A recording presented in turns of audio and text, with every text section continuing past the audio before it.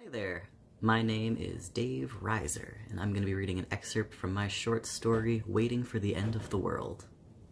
Man on the radio says monsoons and flooding all through the week, but the west coast is still on fire. I'm lying on the dock, ankle deep in warm Florida salt water. The Gulf side, not Atlantic, but I guess it doesn't really matter. In less than 40 years, the whole island will be underwater. Maybe in less than a week. I'm thinking about running away. I've tried before, but although there's not a huge difference between northern Florida and Georgia, I still can't make myself cross that line. When I left home, 17 and freshly orphaned, I went south. I keep going south.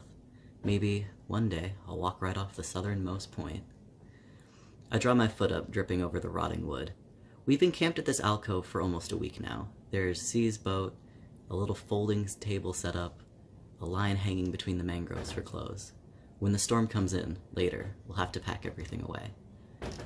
C left uh, sometime after our, not so much an argument, but whatever, uh, last night and hasn't been back since. I called the bar, haven't seen him, but there might be work for me later, and if he's not back by noon, I'll call the station. I'd rather not, I hate strangers. It took months to stop flinching around C, but if he needs bail or... I'm not worried though. Uh, C's older than me by five, ten years, give or take. He knows his way around the Keys, knows every blind old fishmonger from here to Miami. He's fine, he's just avoiding me, or fell asleep on one of the public beaches, or... Hey man.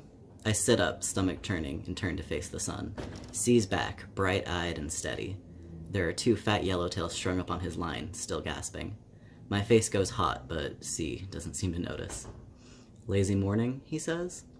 I thought you'd fallen in, I say, trying to play it light like I haven't been panicking since he left. Nah, thought I'd get an early start, fry something to stave off your hangover. C's beautiful. It's the only word. Dark hair, dark eyes, deceptively soft mouth.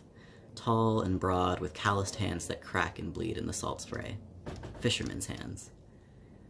I'm not beautiful, especially not as a boy. I used to be, maybe, in a different way, like a rabbit is beautiful to a dog. It's not why I transitioned, but I can't isolate one from each other.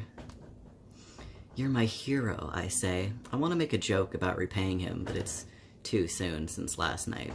The memory of sour beer in my mouth. C makes a sound that's not quite a laugh.